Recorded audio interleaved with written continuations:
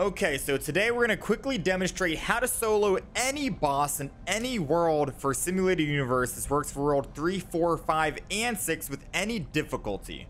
Alright, so step one is making sure you have a full party, killing the boss.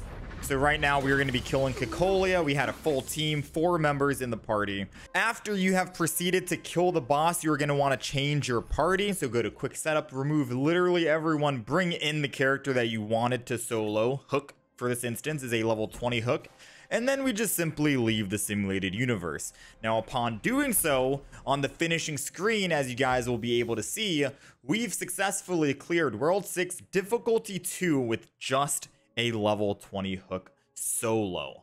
I can take my screenshot, I can post it on social media, I can share it with my friends on Discord.